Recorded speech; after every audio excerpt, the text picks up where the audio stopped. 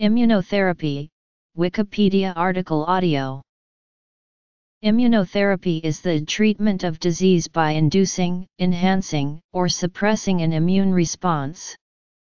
Immunotherapies designed to elicit or amplify an immune response are classified as activation immunotherapies, while immunotherapies that reduce or suppress are classified as suppression immunotherapies. In recent years, immunotherapy has become of great interest to researchers, clinicians, and pharmaceutical companies, particularly in its promise to treat various forms of cancer. Immunomodulators Activation immunotherapies Immunomodulatory regimens often have fewer side effects than existing drugs, including less potential for creating resistance when treating microbial disease. Cell-based immunotherapies are effective for some cancers. Immune effector cells such as lymphocytes, macrophages, dendritic cells, natural killer cells, cytotoxic T lymphocytes, etc., work together to defend the body against cancer by targeting abnormal antigens expressed on the surface of tumor cells. Therapies such as granulocyte colony stimulating factor, interferons, imiquimod and cellular membrane fractions from bacteria are licensed for medical use. Others including IL-2, IL-7, IL-12, various chemokines, synthetic cytosine phosphate guanosine oligodeoxynucleotides and glucans are involved in clinical and preclinical studies. Immunomodulators are the active agents of immunotherapy. They are a diverse array of recombinant, synthetic, and natural preparations. Cancer immunotherapy attempts to stimulate the immune system to destroy tumors. A variety of strategies are in use or are undergoing research and testing. Randomized controlled studies in different cancers resulting in significant increase in survival and disease-free period have been reported and its efficacy is enhanced by 20-30% when cell-based immunotherapy is combined with conventional treatment methods. Cancer the extraction of GCSF lymphocytes from the blood and expanding in vitro against a tumor antigen before re-injecting the cells with appropriate stimulatory cytokines. The cells then destroy the tumor cells that express the antigen. BCG immunotherapy for early stage bladder cancer instills attenuated live bacteria into the bladder and is effective in preventing recurrence in up to two thirds of cases.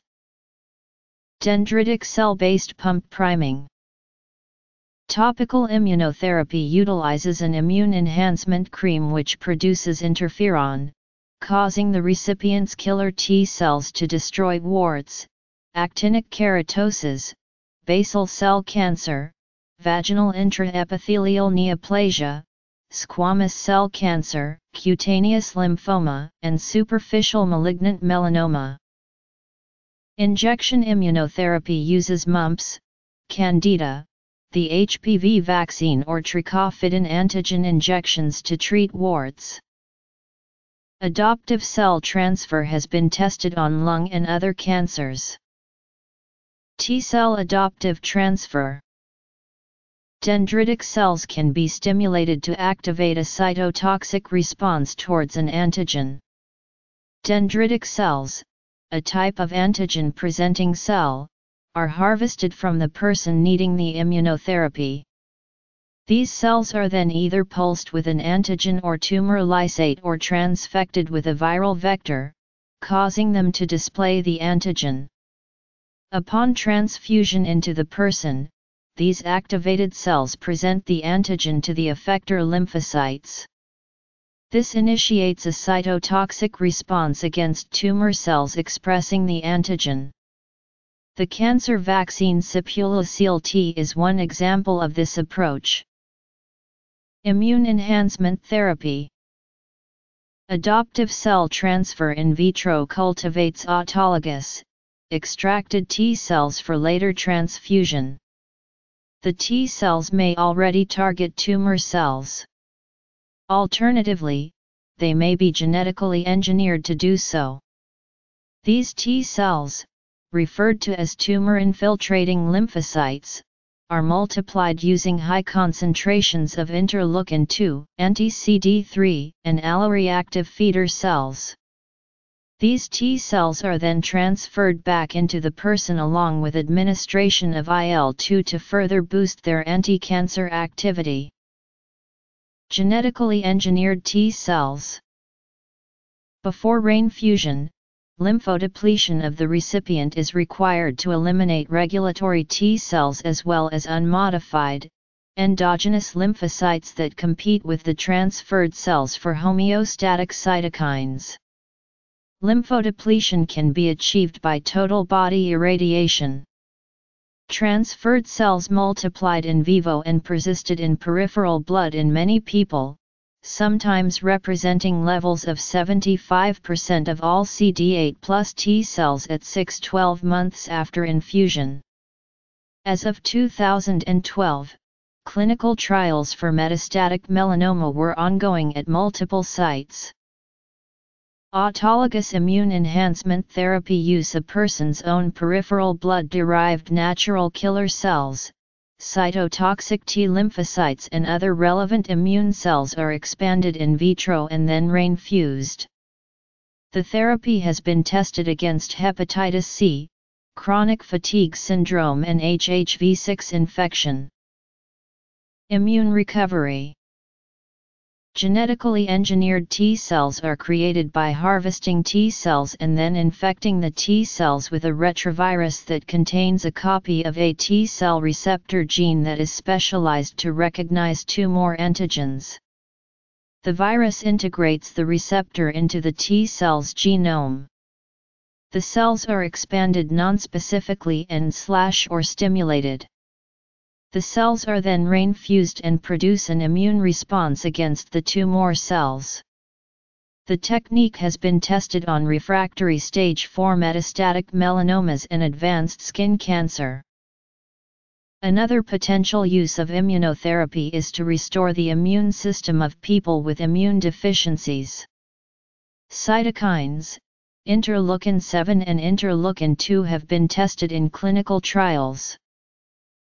Antimicrobial immunotherapy, which includes vaccination, involves activating the immune system to respond to an infectious agent. Immunotherapy targeting senescent cells has also been proposed as a strategy to treat or prevent age-related diseases. Immune suppression dampens an abnormal immune response in autoimmune diseases or reduces a normal immune response to prevent rejection of transplanted organs or cells. Vaccination Immunosuppressive drugs help manage organ transplantation and autoimmune disease. Immune responses depend on lymphocyte proliferation. Cytostatic drugs are immunosuppressive.